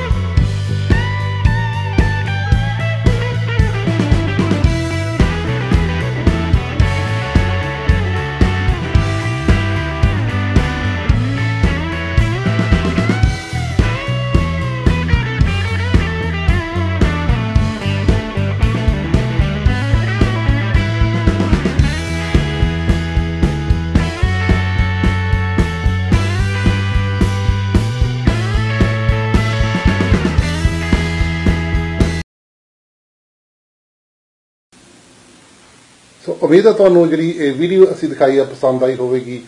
ਬੜੀ ਖੁਸ਼ੀ ਹੁੰਦੀ ਹੈ ਇਸ ਤਰ੍ਹਾਂ ਜਦੋਂ ਕੋਈ ਸਾਡਾ ਸਿੰਘ ਵੀਰ ਸਰਦਾਰ ਘੋੜਿਆਂ ਦਾ ਕੰਪੀਟੀਸ਼ਨ ਕਰਦਾ ਤੇ ਜਿੱਤਾਂ ਹਾਸਲ ਕਰਕੇ ਤੇ ਸਾਨੂੰ ਵੀ ਜਦੋਂ ਇਸ ਤਰ੍ਹਾਂ ਬਹੁਤ ਮਾਣ ਹੁੰਦਾ। ਮਹਿੰਦਰ ਸਿੰਘ ਜੀ ਤੁਹਾਡਾ ਜਿਹੜਾ ਅਸੀਂ ਇਹ ਵੇਖਿਆ ਹੈਗਾ ਬਹੁਤ ਸਾਨੂੰ ਵਧੀਆ ਲੱਗਿਆ ਜੀ ਔਰ ਸਾਡੇ ਦਰਸ਼ਕਾਂ ਨੂੰ ਹੋ ਸਕਦਾ ਵੀ ਬਹੁਤ ਹੀ ਵਧੀਆ ਲੱਗਿਆ ਹੋਵੇ। ਤੇ ਅੱਛਾ ਜਦੋਂ ਤੁਸੀਂ ਇਹ ਕੰਪੀਟੀਸ਼ਨ ਕਰਦੇ ਹੋ ਉਦੋਂ ਤੁਸੀਂ ਖਾਸ ਤਿਆਰੀ ਕਰਨੀ ਪੈਂਦੀ ਹੈ? ਇੱਕ ਦੋ ਦਿਨ ਪਹਿਲਾਂ ਜਾਂ ਨਾਰਮਲ ਰੁਟੀਨ ਦੇ ਵਿੱਚ ਚਲੇ ਜਾਂਦੇ ਹੋ ਜਾਂ ਟੂਰਨਾਮੈਂਟ ਦੀ ਤਿਆਰੀ ਕਰਦੇ ਹੋ? ਕਿਉਂਕਿ ਜਿਹੜਾ ਅਸੀਂ ਗੇਮ ਹੁਣ ਵੀਡੀਓ ਦੇ ਵਿੱਚ ਦੇਖਿਆ ਬੜਾ ਸ਼ਾਰਟ ਪੀਰੀਅਡ ਦੇ ਵਿੱਚ ਕਈ ਵਾਰੀ ਕੁਇਕ ਸੈਕਿੰਡ ਦੇ ਵਿੱਚ ਹੀ ਤੁਸੀਂ ਉਹ ਜਿਹੜਾ ਮੈਚ ਆ ਉਹ ਜਿੱਤ ਲੈਂਦੇ ਹੋ। ਤਾਂ ਇਹਦੀ ਜਿਹੜੀ ਐਕਸਾਈਟਮੈਂਟ ਆ ਉਹ ਕਿਸ ਤਰ੍ਹਾਂ ਹੁੰਦੀ ਹੈ? ਕਿੰਨ- ਕੁ ਮੈਚ ਹੁੰਦੇ ਆ ਟੂਰਨਾਮੈਂਟਸ ਦੇ ਵਿੱਚ? ਤੇ ਕਿਉਂਕਿ ਇੱਕ ਗੇਮ ਤਾਂ ਮੈਨੂੰ ਲੱਗਦਾ ਵੀ 1 ਮਿੰਟ ਜ- ਇੱਕ ਮਿੰਟ ਤੋਂ ਵੀ ਘੱਟ ਟਾਈਮ ਹਾਂਜੀ ਹਾਂਜੀ ਬਿਲਕੁਲ ਜੀ ਬਿਲਕੁਲ। ਸੋ ਕਿਸ ਤਰ੍ਹਾਂ ਜਿਵੇਂ ਮੈਂ ਤਿਆਰੀ ਕਿਸ ਤਰ੍ਹਾਂ ਕਰਦੇ ਹੋ ਵੀ ਕਾਫੀ ਦੇਰ ਪਹਿਲਾਂ ਤਿਆਰੀ ਸਟਾਰਟ ਹੋ ਜਾਂਦੀ ਹੈ ਜਾਂ ਵੈਸੇ ਹੀ ਕਿੰਨੇ ਵੀ ਚਲੋ ਅੱਜ ਕੰਮ ਕਰਕੇ ਚਲੇ ਜਾਂਦੇ ਆ ਜਾਂ ਕਿਸ ਤਰ੍ਹਾਂ ਤੁਸੀਂ ਤਿਆਰੀ ਕਰਦੇ ਹੋ ਆਪ? ਜੀ ਇਹਦੀ ਤਿਆਰੀ ਮੇਰੀ ਟੂਰਨਾਮੈਂਟ ਡਿਪੈਂਡ ਕਰਦਾ ਵੀ ਕਿੰਨਾ ਕੁ ਮੇਜਰ ਕੰਪੀਟੀਸ਼ਨ ਆ ਰਿਹਾ ਟੂਰਨਾਮੈਂਟ ਆ ਰਿਹਾ। ਤੇ ਵੈਸੇ ਮੇਰੀ ਮੋਸਟਲੀ ਤਿਆਰੀ ਹੁੰਦੀ ਹੈ ਜੀ ਜਿੱਦਾਂ ਮਤਲਬ 3-4 ਮਹੀਨੇ ਪਹਿਲਾਂ ਹੀ। ਮੈਂ ਆਪਣਾ ਇੱਕ ਡਾਈਟੀ ਡਾਈਟ ਦਾ ਪ੍ਰੋਪਰ ਕ੍ਰਾਈਟੇਰੀਆ ਬਣਾ ਲੈਣਾ ਆਪਣੇ ਵਰਕਆਊਟ ਤੱਕ ਪ੍ਰੋਪਰ ਕ੍ਰਾਈਟੇਰੀਆ ਬਣਾ ਲੈਣਾ ਵੀ ਹਨਾ ਕਿੰਨੇ ਕੁ weight ਦੇ ਵਿੱਚ ਮੈਂ ਲੜਨਾ ਹੈ ਕੰਪੀਟੀਸ਼ਨ ਕਰਨਾ ਤੇ ਮੈਨੂੰ ਫਿਰ ਉਸ ਤੋਂ ਬਾਅਦ ਸਾਡੇ ਪ੍ਰੈਕਟਿਸ ਮੈਚ ਮੈਂ ਆਪਣੇ ਰੱਖਦਾ ਆਪਣੇ ਫਰੈਂਡਸ ਦੇ ਘਰ। ਤੇ ਆਪਾਂ ਚੈੱਕ ਕਰੀਦਾ ਵੀ ਬੇਸਿਕਲੀ ਯੂ نو ਕਿਹੜਾ ਮਸਲਸ ਕਿੰਨਾ ਕੁ ਵੀਕ ਹੈ ਕਿੱਥੇ ਕਰਕੇ ਮੈਨੂੰ ਇਸ਼ੂਜ਼ ਆ ਰਹੇ ਪ੍ਰੋਬਲਮ ਆ ਰਹੇ। ਤੇ ਮੇਰੀ ਇਹ ਜਿਹੜੀ ਤਿਆਰੀ ਹੈ ਜੀ 3-4 ਮਹੀਨੇ ਤੋਂ ਇਨਫੈਕਟ ਸਟਾਰਟ ਹੋ ਜਾਂਦੀ ਹੈ। ਪਰ ਹੁਣ ਵੀ ਜਿੱਦਾਂ ਅਸੀਂ ਇੱਕ ਬਹੁਤ ਹੀ ਵੱਡੇ ਲੈਵਲ ਦਾ ਇੰਡੀਆ ਦੇ ਵਿੱਚ ਵੈਰੀ ਸੂਨ ਮਤਲਬ ਅ ਵੈਰੀ ਬਿਗ ਕੰਪੀਟੀਸ਼ਨ ਜਿਹੜਾ ਆ ਰਿਹਾ ਜਿਹੜਾ ਅੱਜ ਤੱਕ ਮਤਲਬ ਇੰਡੀਆ ਦੀ ਹਿਸਟਰੀ 'ਚ ਕਦੇ ਹੋਇਆ ਨਹੀਂ ਤੇ ਉਹਦੀ ਵੀ ਹੁਣ ਤੋਂ ਅਸੀਂ ਤਿਆਰੀ ਆਪਣੀ ਸਟਾਰਟ ਕਰਤੀ ਹੈ ਤਾਂ ਵੈਰੀ ਸੂਨ ਲਾਈਕ ਦਰਸ਼ਕਾਂ ਨੂੰ ਅਸੀਂ ਮੈਂ ਡਿਸਕਲੋਜ਼ ਕਰੂੰਗਾ ਉਹ ਬਟ ਇਦਾਂ ਹੈ ਕਿ 3-4 ਮਹੀਨੇ ਪਹਿਲਾਂ ਮੇਰੀ ਇਸ ਚੀਜ਼ ਦੀ ਤਿਆਰੀਆਂ ਸਟਾਰਟ ਹੋ ਜਾਂਦੀ ਹੈ ਕਿ ਕੰਪੀਟੀਸ਼ਨ ਦੇ ਬਾਕੀ ਰਹੀ ਗੇਮ ਦੀ ਗੱਲ ਜੀ ਗੇਮ ਦੇ ਵਿੱਚ ਹਰ ਇੱਥੇ weight ਕੈਟਾਗਰੀਜ਼ ਹੁੰਦੀਆਂ ਜੀ ਹਰ weight ਕੈਟਾਗਰੀ ਦੇ ਵਿੱਚ ਨੀਅਰ ਅਬਾਊਟ ਲਾਈਕ ਇਹ 170 ਟੂ 180 180 ਟੂ 190 190 ਟੂ 200 ਤੇ ਜਿਸ ਬੱਚ ਜਿਹੜਾ ਬੱਚਾ ਉਹ ਜਿਸ weight ਕੈਟਾਗਰੀ ਦੇ ਵਿੱਚ ਮਤਲਬ ਜਿਹੜਾ ਜੋ ਦਾ weight ਹੁੰਦਾ ਉਸ weight ਕੈਟਾਗਰੀ ਦੇ ਵਿੱਚ ਪਾਰਟਿਸਿਪੇਟ ਕਰਦਾ। ਤੇ ਹਰ weight ਕੈਟਾਗਰੀ ਵਿੱਚੋਂ ਫਿਰ ਹਨਾ ਤਿੰਨ ਵਿਨਰਸ ਕੱਢੇ ਜਾਂਦੇ 골ਡ ਸਿਲਵਰ ਐਂਡ ਬ੍ਰਾਊਨਸ ਜੀ। ਫਿਰ ਉਸ ਤੋਂ ਬਾਅਦ ਫਿਰ ਇਹਨਾਂ ਦਾ ਓਵਰਆਲ ਕੰਪੀਟੀਸ਼ਨ ਹੁੰਦਾ ਜਿਹਨੂੰ ਕੰਸੀਡਰ ਕੀਤਾ ਜਾਂਦਾ ਉਸ ਟੂਰਨਾਮੈਂਟ ਦਾ ਬੈਸਟ ਆਰਮ ਜਾਂ ਬੈਸਟ ਆਰਮ ਰੈਸਲਰ ਸੋ ਕੱਲਾ ਇੱਕ ਮੈਚ ਨਹੀਂ ਹੁੰਦਾ ਹੋਰ ਬਹੁਤ ਸਾਰੇ ਮੈਚ ਵੀ ਹੁੰਦੇ ਆ ਐਕਸਾਈਟਮੈਂਟ ਹੁੰਦੀ ਹੈ ਫਿਰ। ਫਸਟ ਸੈਕੰਡ ਥਰਡ ਜਿਵੇਂ ਵੈਸ ਦੂਜੇ ਦੂਸਰੇ ਟੂਰਨਾਮੈਂਟ ਹੁੰਦੇ ਆ ਸੇਮ ਇਸ ਤਰ੍ਹਾਂ ਹੀ ਹੁੰਦਾ ਹੈ। ਹਾਂਜੀ ਹਾਂਜੀ ਬਿਲਕੁਲ। ਤੇ ਇਹਦੇ ਵਿੱਚ ਮਤਲਬ ਮੋਸਟਲੀ ਜੋ ਗੇਮ ਦਾ ਰੂਲ ਹੁੰਦਾ ਹੈ ਜੀ ਕਿ ਤੁਸੀਂ ਦੋ ਵਾਰੀ ਜੇ ਕੰਟੀਨਿਊਸਲੀ ਲੂਜ਼ ਕਰ ਜਾਂਦੇ ਹੋ then you are out of the game ਮਤਲਬ ਕੰਟੀਨਿਊਸਲੀ ਇਹ ਹੈ ਕਿ ਇਹ ਇਹ ਮੈਚ ਚੱਲਦਾ ਰਹਿੰਦਾ till the time you don't find the winner ਤੇ ਜਿਹੜੇ ਜਿਹੜੇ ਦੋ ਵਾਰੀ ਲੂਜ਼ ਕਰਦੇ ਰਹਿੰਦੇ ਆ ਲੂਜ਼ਰ ਬ੍ਰੈਕਟ ਚ ਜਾ ਕੇ ਫਿਰ ਉਹ ਬਾਹਰ ਹੁੰਦੇ ਰਹਿੰਦੇ ਆ। ਤੇ ਬਾਕੀ ਇਸ ਗੇਮ ਦੇ ਵਿੱਚ ਫਾਉਲਸ ਵੀ ਹੁੰਦੇ ਆ ਲੋਟ ਆਫ ਰੂਲਸ ਰੈਗੂਲੇਸ਼ਨਸ ਹੁੰਦੇ ਆ। ਇੱਕ ਪ੍ਰੋਪਰ ਟੇਬਲ ਦਾ ਸੈਟਅਪ ਹੁੰਦਾ ਜਿੱਦਾਂ ਤੁਸੀਂ ਮੇਰੀ ਵੀਡੀਓ 'ਚ ਦੇਖਿਆ ਹੋਣਾ। ਪੈਡਸ ਹੁੰਦੇ ਆ ਤੁਹਾਡਾ ਐਲਬੋ ਤੁਹਾਡੀ ਪੈਡ ਤੋਂ ਬਾਹਰ ਨਹੀਂ ਨਿਕਲਣਾ ਹੋਣਾ ਚਾਹੀਦਾ। ਤੁਹਾਡੀ ਜਿਹੜੀ ਰਿਸਟ ਆ ਆਲਮੋਸਟ ਸ਼ੁੱਡ ਬੀ ਸਟ੍ਰੇਟ ਮਤਲਬ ਇਹ ਆਪਾਂ ਸਕੂਲਾਂ ਚ ਲਾਉਂਦੇ ਹੁੰਦੇ ਸੀ ਜੀ ਗੋਟੇ ਟੇਡਾ ਕਰ ਲਿਆ ਜੀ ਜਾਂ ਇਦਾਂ ਕਰ ਲਿਆ। ਨਹੀਂ ਬਿਲਕੁਲ ਸਿੱਧਾ ਹੋਣਾ ਚਾਹੀਦਾ। ਮੈਨੀਪੂਲੇਸ਼ਨ ਜਿਵੇਂ ਚਲਾਕੀ ਨਾਲ ਚਲਾਕੀਆਂ ਜੀ ਕਿਉਂਕਿ ਇਹ ਚਲਾਕੀਆਂ ਜੀ ਗੇਮ ਦੇ ਵਿੱਚ ਨਹੀਂ ਚੱਲਦੀਆਂ ਹੈਗੀਆਂ। ਤੇ ਬਿਲਕੁਲ ਮਤਲਬ ਰੈਫਰੀਜ਼ ਹੁੰਦੇ ਜੀ ਬਕਾਇਦਾ ਉੱਥੇ ਪ੍ਰੋਪਰ ਟੂ ਰੈਫਰੀਜ਼ ਹੁੰਦੇ ਆ ਹੈਡ ਜਾਂ ਉਹ ਮੈਂ ਰੈਫਰੀ ਦੇਖ ਰਿਹਾ ਸੀ ਕਿ ਦੋ ਰੈਫਰੀ ਸੀ ਇੱਕ ਉਧਰਲੀ ਸਾਈਡ ਤੇ ਸੀ ਇੱਕ ਉਧਰਲੀ ਸਾਈਡ ਤੇ ਸੀ ਹਾਂਜੀ, ਹਾਂਜੀ। ਕਿਉਂਕਿ ਉਹਨਾਂ ਨੇ ਉਹ ਵਾਚ ਕਰਨਾ ਵੀ ਜਿਹੜਾ ਤੁਸੀਂ ਬਿਲਕੁਲ। ਜਦੋਂ ਜਦੋਂ ਕੰਪੀਟੀਸ਼ਨ ਹੁੰਦਾ ਉਦੋਂ ਤੁਸੀਂ ਟੱਚ ਕਰਾਉਂਦੇ ਹੋ ਦੂਸਰੇ ਦਾ ਹੱਥ ਹਾਂਜੀ ਹਾਂਜੀ। ਤੇ ਬੇਸਿਕਲੀ ਆਰਮ ਰੈਸਲਿੰਗ ਟੇਬਲ ਤੁਸੀਂ ਦੇਖੋਗੇ ਮਤਲਬ ਟੋਟਲ 4 ਪੈਡ ਹੁੰਦੇ ਆ। ਦੋ ਪੈਡਸ ਤੇ ਅਸੀਂ ਆਪਣੇ ਐਲਬੋਸ ਪਲੇਸ ਕਰਦੇ। ਹਾਂ। ਤੇ ਜਿਹੜੇ ਲੈਫਟ ਐਂਡ ਰਾਈਟ ਪੈਡਸ ਹੁੰਦੇ ਆ ਉਹ ਬੇਸਿਕਲੀ ਉਸ ਪੈਡ ਦੇ ਉੱਤੇ ਤੁਹਾਡਾ ਲੂਜ਼ਰ ਦਾ ਪੈਡ ਮਤਲਬ ਇਹ ਜਿਹੜਾ ਹੱਥ ਤੇ ਬੈਕ ਰਿਸਟ ਆ ਆ ਲੱਗਣੀ ਚਾਹੀਦੀ। ਟੱਚ ਹੋਣੀ ਚਾਹੀਦੀ ਹੈ। ਜੀ। ਮਤਲਬ ਮੇਰੀ ਗੇਮ ਜੇ ਲਾਸਟ ਕਰਦੀ ਹੈ ਜੀ less than a second sometimes or maximum 2 seconds ਤੇ ਮਤਲਬ ਮੈਨੂੰ ਕਾਫੀ ਫਕਰ ਹੁੰਦਾ ਮੈਂ ਬੇਸਿਕਲੀ ਜਿਸ ਤਰੀਕੇ ਨਾਲ ਸਪੀਡ ਨਾਲ ਖੇਡਦਾ ਤੇ ਇਨਫੈਕਟ ਮੈਨੂੰ ਲੋਕਾਂ ਨੇ ਨਾਮ ਵੀ ਦਿੱਤਾ ਹੋਇਆ ਵੀ ਲਾਈਟਨਿੰਗ ਬੋਲਟ ਕਰਕੇ ਵੀ ਕਹਿੰਦੇ ਜਿੱਦਾਂ। ਤੇ ਜਾਂ ਮੈਨੂੰ ਟਰਬੋਨੇਟਰ ਕਹਿੰਦੇ ਗੋਰੇ ਇੱਥੇ ਕਿ ਟਰਬਨ ਪਾ ਕੇ ਖੇਡਦਾ। ਤੇ ਉਹ ਵੀ ਚੀਜ਼ਾਂ ਅੱਛੀਆਂ ਲੱਗਦੀਆਂ ਕਿਉਂਕਿ ਪਿੱਛੋਂ ਬੈਕਗ੍ਰਾਉਂਡ ਤੋਂ ਸੁਣਨ ਨੂੰ ਮਿਲਦਾ ਹੈ ਨਾ। ਮੋਸਟਲੀ ਜਦ ਮੈਂ ਆਪਣੀ ਗੇਮ ਖੇਡਦਾ ਹਾਂ ਤੇ ਉਹਨਾਂ ਨੂੰ ਪਤਾ ਹੁੰਦਾ ਵੀ ਇਹਨੇ ਸਪੀਡ ਮਾਰਨੀ ਹੈ। ਤੇ ਉਹ ਸਟ੍ਰੈਟਜੀਜ਼ ਨਾ ਤੁਹਾਨੂੰ ਸੁਣਨ ਨੂੰ ਮਿਲ ਜਾਂਦੀ ਹੈ ਨਾ ਬੀ ਮੇਕ ਸ਼ੋਰ ਵੀ ਹੈ ਨਾ he is gonna apply a speed so make sure you gonna do this ਤਾਂ ਮੇਰਾ ਕੌਨਫੀਡੈਂਸ ਲੈਵਲ ਜੀ ਹੋਰ ਵੱਧ ਜਾਂਦਾ। ਜੀ, ਜੀ। So I know then I just go on the table and then Baba ji ਦੀ ਕਿਰਪਾ ਜਿਸ ਤਰ੍ਹਾਂ ਤੁਸੀਂ ਆਪਣੇ ਸਿੱਖ ਕਮਿਊਨਿਟੀ ਦੇ ਵਿੱਚੋਂ ਇਕੱਲੇ ਹੀ ਰਿਪਰੈਜ਼ੈਂਟ ਕਰ ਰਹੇ ਹੋ ਹਾਂਜੀ ਹਾਂਜੀ ਤੁਸੀਂ ਤੁਸੀਂ ਦੱਸਿਆ ਮੈਨੂੰ ਪ੍ਰਾਊਡ ਵੀ ਫੀਲ ਹੁੰਦਾ। ਜਦੋਂ ਸਿੰਘ ਤੁਹਾਡੇ ਕਈ ਵਾਰੀ ਪਿੱਛੇ ਨਾਂ ਵੀ ਲਿਖਿਆ ਹੁੰਦਾ। ਸਿੰਘ ਵੀ ਲਿਖਿਆ ਹੋਇਆ ਕਈ। ਟੀ-ਸ਼ਰਟਸ ਦੇ ਵਿੱਚ ਮੈਂ ਦੇਖਿਆ ਹਾਂਜੀ, ਤੁਸੀਂ ਪ੍ਰਾਊਡ ਤਾਂ ਫੀਲ ਕਰਦੇ ਹੋ ਬਹੁਤ ਕਿਸ ਤਰ੍ਹਾਂ। ਕਿਸ ਤਰ੍ਹਾਂ ਦੀ ਫੀਲਿੰਗ ਜੀ ਆਉਂਦੀ ਆ ਤੁਹਾਨੂੰ ਤੇ ਕਿਸੇ ਸਿੱਖ ਆਰਗੇਨਾਈਜੇਸ਼ਨ ਨੇ ਤੁਹਾਨੂੰ ਕੋਈ ਮਾਨ ਸਨਮਾਨ ਦੇਣ ਬਾਰੇ ਕੋਈ ਅੱਗੇ ਆਈ ਹੈ ਕਮਿਊਨਿਟੀ ਕੋਈ? ਜੀ ਬੇਸਿਕਲੀ ਪ੍ਰਾਊਡ ਤਾਂ ਮੈਨੂੰ ਬਹੁਤ ਜ਼ਿਆਦਾ ਫੀਲ ਹੁੰਦਾ ਹੈ ਤੇ ਮੂੰਹ ਤੇ ਮਤਲਬ ਅੰਦਰੋਂ ਤਾਂ ਮਾਲਕ ਦਾ ਸ਼ੁਕਰਾਨਾ ਹੀ ਨਿਕਲਦਾ ਵੀ ਮਾਲਕਾ ਸ਼ੁਕਰ ਹੈ ਵੀ ਹਨਾ। ਜੀ, ਕਿਉਂਕਿ ਉਹਨਾਂ ਤੋਂ ਬਿਗਨਾ ਮੇਰੀ ਕੋਈ ਔਕਾਤ ਹੈ ਨਹੀਂ। ਤੇ ਜੇ ਉਹਨਾਂ ਨੇ ਮੈਨੂੰ ਇੰਨਾ ਕੁ ਦਰਜਾ ਦਿੱਤਾ ਕਿ ਮੈਨੂੰ ਇੰਨਾ ਕੁ ਪ੍ਰਾਊਡ ਫੀਲ ਹੁੰਦਾ ਵੀ ਅੱਜ ਮੇਰੀ ਟਰਬਨ ਦੇ ਕਾਰਨ ਬੇਸਿਕਲੀ ਮੈਨੂੰ ਦੁਨੀਆ 'ਚ ਕਾਫੀ ਲੋਕੀ ਜਾਣਦੇ ਆ। ਮਤਲਬ ਮੇਰਾ ਫੇਸਬੁੱਕ ਅਕਾਊਂਟ ਮੇਰੇ YouTube ਅਕਾਊਂਟਸ ਮੈਨੂੰ ਕੁਐਰੀਜ਼ ਆਉਂਦੀਆਂ ਲੋਕਾਂ ਦੀਆਂ ਤੇ ਮੈਨੂੰ ਫੀਲ ਹੁੰਦਾ ਵੀ ਦੂਰੋਂ ਨਾ ਇੱਕ ਜਿਹੜਾ ਸਰਦਾਰ ਆ ਜਿਹਨੇ ਪੱਗ ਬੰਨੀ ਹੈ ਜਿਹੜੇ ਮਹਾਰਾਜ ਜੀ ਨੇ ਸਾਨੂੰ ਪੱਗਾਂ ਬਖਸ਼ੀਆਂ ਨੇ ਤੇ ਇਹ ਕੁਝ ਸੋਚ ਕੇ ਬਖਸ਼ੀਆਂ ਹੋਈਆਂ ਤੇ ਅੱਜ ਅਸੀਂ ਦੂਰੋਂ ਹੀ ਪਛਾਣੇ ਜਾਂਦੇ ਆ। ਬਾਕੀ ਮੈਨੂੰ ਕਮਿਊਨਿਟੀਜ਼ ਮੈਨੂੰ ਆਪਣੀ ਕਮਿਊਨਿਟੀਜ਼ ਆਸਟ੍ਰੇਲੀਅਨ ਕਮਿਊਨਿਟੀ ਵੱਲੋਂ ਵੀ ਮੈਨੂੰ ਕਾਫੀ ਵਾਰੀ ਰਿਪਰੈਜ਼ੈਂਟ ਕੀਤਾ ਗਿਆ ਜੀ। ਤੇ ਇੰਡੀਆ ਦੇ ਵਿੱਚ ਵੀ ਮੈਨੂੰ ਸਨਮਾਨਿਤ ਕੀਤਾ ਗਿਆ ਸੀਗਾ ਆਪਣੇ you know city councils and all that stuff ਵੱਲੋਂ।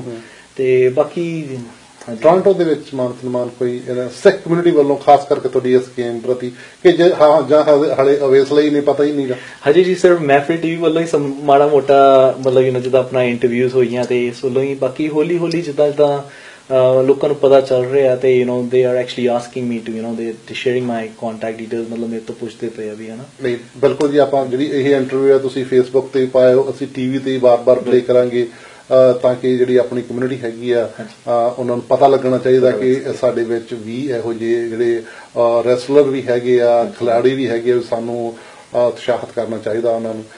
ਬਿਲਕੁਲ ਜੀ ਅੱਜ ਤੋਂ ਜੇ ਆਪਾਂ ਕਹਿ ਲਈਏ ਚਲੋ ਅੱਜ ਤੋਂ ਹੀ ਸ਼ੁਰੂਆਤ ਹੋ ਗਈ ਟੋਰਾਂਟੋ ਦੇ ਵਿੱਚ ਤੇ। ਬਹੁਤ ਵਧੀਆ ਹੈਗਾ। ਔਰ ਹੋ ਸਕਦਾ ਤੁਹਾਨੂੰ ਆਲ ਓਵਰ ਕੈਨੇਡਾ ਔਰ ਕਿਉਂਕਿ ਆਪਣਾ ਜਿਹੜਾ ਇਹ ਆਈਪੀਟੀਵੀ ਬਾਕਸ ਤੇ ਚੈਨਲ ਆ।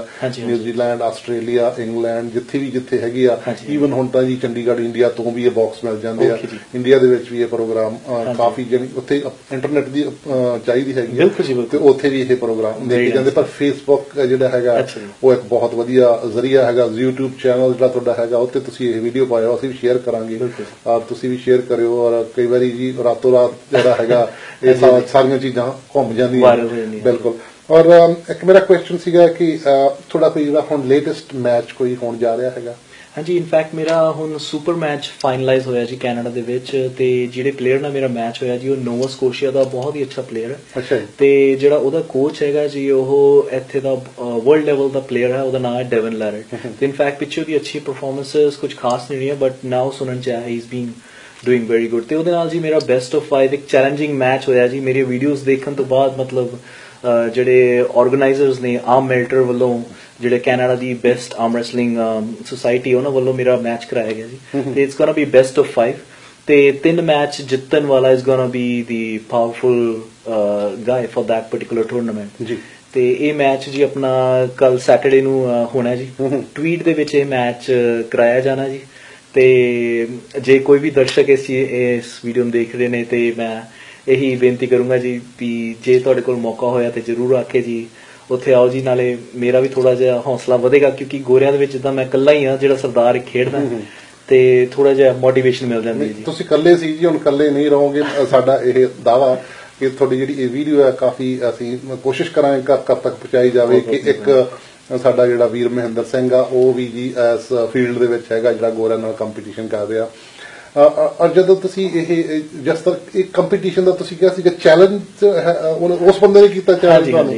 ਕਿਵੇਂ ਸਬਬ ਬਣਿਆ ਹੈ ਇਹ ਜੀ ਬਣਿਆ ਜੀ ਐਕਚੁਅਲੀ ਇੰਟਰਨੈਟ ਤੋਂ ਮੇਰੀ ਵੀਡੀਓਜ਼ ਦੇਖੀਆਂ ਤੇ ਮੁੜ ਕੇ ਮੈਨੂੰ ਇੱਕ ਚੈਲੰਜ ਆਫਰ ਆਇਆ ਜੀ ਵੀ ਬੇਸਿਕਲੀ ਤੁਹਾਨੂੰ ਪਾਰਟਿਕੂਲਰ ਪਰਸਨ ਹੈਗਾ ਜੀ ਉਹ ਨੋਵਾ ਸਕੋਸ਼ੀਆ ਦਾ ਰਿਚਮੰਡ ਚ ਰਹਿੰਦਾ ਤੇ would you like to have a match with him ਤੇ ਬੇ ਮੈਂ ਥੋੜਾ ਜਿਹਾ ਰਿਸਰਚ ਕੀਤੀ as like why not no problem at all ਤੇ ਬੇਸਿਕਲੀ ਪ੍ਰਾਊਡ ਫੀਲਿੰਗ ਇਹ ਹੈ ਜੀ ਇਹ ਫਰਸਟ ਸੁਪਰ ਮੈਚ ਹੋ ਰਿਹਾ ਜੀ ਮੇਰਾ ਅੱਛਾ। ਕੈਨੇਡਾ ਦੇ ਵਿੱਚ ਨਾ ਕਿ ਕਿਸੇ ਨੇ ਚੈਲੰਜ ਮੈਚ ਕੀਤਾ ਤੇ ਮੈਂ ਬਹੁਤ ਐਕਸਾਈਟਡ ਹਾਂ ਸੀ ਇਸ ਮੈਚ ਵੱਲ ਕਿਉਂਕਿ ਇਸ ਰਿਜ਼ਲਟ ਤੋਂ ਬਾਅਦ ਥੋੜੀ ਜੀ ਆਰਮ ਰੈਸਲਿੰਗ ਦੀ ਦੁਨੀਆ 'ਚ ਮੇਰੀ ਥੋੜਾ ਜਿਹਾ ਲੈਵਲ ਕਹਿ ਲਓ ਜਾਂ ਤੁਸੀਂ ਥੋੜਾ ਜਿਹਾ ਦੇਖਣ ਦਾ ਨਜ਼ਰੀਆ ਥੋੜਾ ਜਿਹਾ ਚੇਂਜ ਹੋ ਜਾਏਗਾ ਜੀ ਗੋਰਿਆਂ ਦੇ ਪ੍ਰਤੀ ਔਰ ਜਦੋਂ ਇਹ ਮੈਚ ਹੋਇਆ ਹੋ ਸਕਦਾ ਕਿਉਂਕਿ ਇਟਸ ਵੈਰੀ ਕੁਇਕ ਤੁਹਾਡਾ ਮੈਚ ਹੋ ਰਿਹਾ ਹੈਗਾ ਆਪਾਂ ਜੇ ਤੁਸੀਂ ਪਹਿਲਾਂ ਆਉਂਦੇ ਤਾਂ ਆਪਾਂ ਦੀ ਐਡਵਰਟਾਈਜ਼ਮੈਂਟ ਹੋਰ ਤਰੀਕੇ ਨਾਲ ਵੀ ਕਰ ਸਕਦੇ ਸੀਗੇ।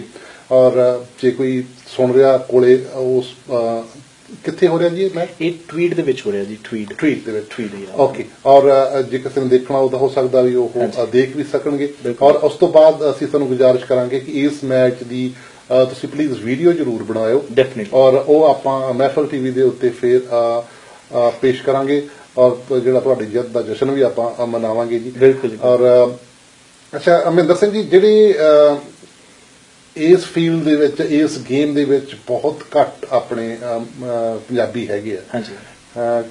ਸ਼ੋਰ ਅੱਜ ਤੋਂ ਬਾਅਦ ਜਦੋਂ ਤੁਹਾਡਾ ਜਿਹੜਾ ਵੀਡੀਓਜ਼ ਦੇਖਣ ਤੋਂ ਬਾਅਦ ਹਾਂਜੀ। ਔਰ ਜਿਹੜੀਆਂ ਤੁਹਾਡੀਆਂ ਗੇਮਸ ਦੇਖਣ ਤੋਂ ਬਾਅਦ ਔਰ ਤੁਹਾਨੂੰ ਟੀਵੀ ਤੇ ਦੇਖਣ ਤੋਂ ਬਾਅਦ ਹੋ ਸਕਦਾ ਕੁਝ ਕੁ ਜਿਹੜੇ ਆਪਣੇ ਬੱਚਿਆਂ ਦਾ ਰੁਚੀ ਇੱਧਰ ਨੂੰ ਆਵੇ। ਸੋ ਜਿਹੜੀ ਨਿਊ ਜਨਰੇਸ਼ਨ ਹੈਗੀ ਹੈ ਇੱਧਰ ਆਉਣਾ ਚਾਹੁੰਦੀ ਹੈਗੀ ਆ ਉਹਦੇ ਲਈ ਤੁਸੀਂ ਕੋਈ ਉਪਰਾਲਾ ਕਰ ਰਹੇ ਹੋ ਜਾਂ ਕੋਈ ਰੰਭਿਆ ਕਾਰਜ? ਬਿਲਕੁਲ ਜੀ ਆਪਣੇ ਵੱਲੋਂ ਪੂਰੀ ਕੋਸ਼ਿਸ਼ ਕੀਤੀ ਹੈ। ਜਦ ਦਾ ਮੈਂ ਕੈਨੇਡਾ ਚ ਆਇਆ ਤੇ ਮੈਂ ਆਪਣੇ ਬਲੌਗਸ ਜਿਹੜੇ ਆਪਣੇ ਵੀਡੀਓਜ਼ ਹੈਗੇ ਆ, ਵੀ ਮੈਂ ਆਪਣੇ as of said like YouTube content ਦੇ ਉੱਤੇ ਪਾਣਾ ਜੀ। ਤੇ ਤੁਸੀਂ ਜੇ ਸਰਚ ਕਰੋਗੇ ਮੋਹਿੰਦਰ ਸਿੰਘ ਆਰਮ ਰੈਸਲਿੰਗ ਕਰਕੇ ਔਨ YouTube, ਤੇ ਤੁਸੀਂ ਮੇਰੀ ਵੀਡੀਓਜ਼ ਪਾਉਂਗੇ ਉੱਥੇ ਜੀ। ਉੱਥੇ ਬਿਲਕੁਲ ਮੈਂ ਆਪਣੀ ਟ੍ਰੇਨਿੰਗ ਦੀ ਸਾਰੀ ਵੀਡੀਓਜ਼ ਪਾਈਆਂ ਹੋਈਆਂ।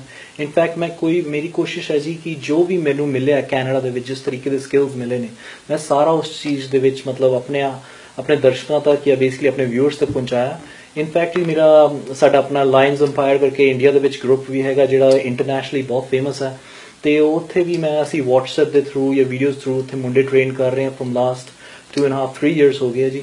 ਤੇ ਉਹਨਾਂ ਚੋਂ ਹੁਣ ਮੁੰਡੇ ਇੰਨਾ ਕੁ ਵਧੀਆ ਪਰਫਾਰਮ ਕਰ ਰਹੇ ਆ ਕਿ ਉਹ ਨੈਸ਼ਨਲਸ ਦੇ ਵਿੱਚ, ਹਨਾ ਸਟੇਟ ਲੈਵਲ ਦੇ ਵਿੱਚ ਗੋਲਡਸ ਪਲੇਸਸ ਉਹਨਾਂ ਦੀ ਬਹੁਤ ਅੱਛੀ ਪਰਫਾਰਮੈਂਸ ਆਈਆਂ ਹੈ ਤੇ ਇਹ ਚੀਜ਼ਾਂ ਨਾਲ ਦੇ ਨਾਲ ਚੱਲ ਰਹੀਆਂ ਜੀ। ਤੇ ਬੇਸਿਕਲੀ ਇਨ ਪਾਈਪਲਾਈਨ ਔਰ ਇਨਫੈਕਟ ਜਿੱਦਾਂ ਮੈਂ ਕਿਹਾ ਇੰਡੀਆ 'ਚ ਬਹੁਤ ਵੱਡਾ ਅਸੀਂ ਟੂਰਨਾਮੈਂਟ ਵੈਰੀ ਸੂਨ ਆਰਗੇਨਾਈਜ਼ ਕਰਨ ਲੱਗੇ ਹਾਂ it's gonna be like the biggest ਜਿਹੜਾ ਅੱਜ ਤੱਕ ਇੰਡੀਆ ਦੀ ਹਿਸਟਰੀ 'ਚ ਕਦੇ ਹੋਇਆ ਨਹੀਂ ਤੋਂ ਮਤਲਬ ਇੱਕ ਉਹ ਵੀ ਕੋਸ਼ਿਸ਼ ਹੈਗੀ ਹੈ ਸਾਡੀ ਕਿ ਆਰਮ ਰੈਸਲਿੰਗ ਨੂੰ ਪ੍ਰਮੋਟ ਕੀਤਾ ਜਾਵੇ ਸੋ ਤਾਂ ਕਿ ਕੰਪਲੀਟ ਕਮਿਊਨਿਟੀ ਆ ਕੇ ਯੂ نو ਆਰਮ ਰੈਸਲਿੰਗ ਕਰੇ ਤੇ ਯੂ نو ਇਹ ਗੇਮ ਥੋੜੀ ਜੀ ਹਿਡਨ ਹੈਗੀ ਹੈ ਪਰ ਇਹਦੀ ਅਵੇਅਰਨੈਸ ਹੌਲੀ ਹੌਲੀ ਬਹੁਤ ਜ਼ਿਆਦਾ ਵੱਧ ਰਹੀ ਹੈ ਹਮ ਹਮ।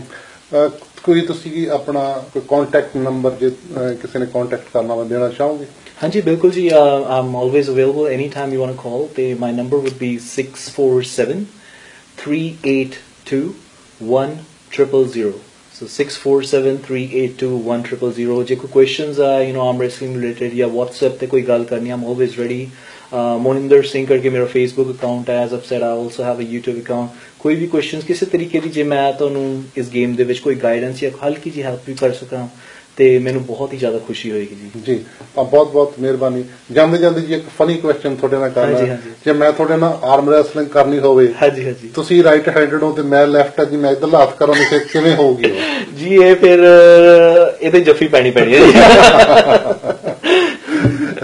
it has to be right handed it has to be right hand so basically let's say you're right handed ਤੇ ਮੈਂ right handed ਹਾਂ ਤੇ ਆਪਣਾ ਫੇਰ ਫੇਰ ਹੀ ਸਕੇ ਫੇਰ ਕੰਪੀਟੀਸ਼ਨ ਲੱਗਣਾ ਹੈ ਕਿਉਂਕਿ ਬੇਸਿਕਲੀ ਇਹ ਤੁਹਾਡੇ ਹੱਥਾਂ ਨਾਲ ਹੱਥ ਪੈ ਕੇ ਜੀ ਆਪਾਂ ਦਰਸ਼ਕਾਂ ਨੂੰ ਦਿਖਾਣਾ ਚਾਹੀਏ ਜੀ।